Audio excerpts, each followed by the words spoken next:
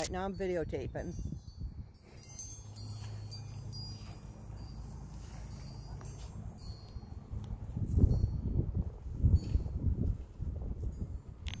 Uh, you need to open it, please. Go ahead, I'm going to videotape it.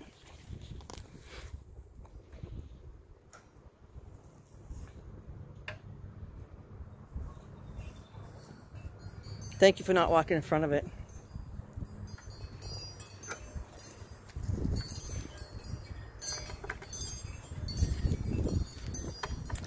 So that, I can't see the back. I mean, you could kind of see it,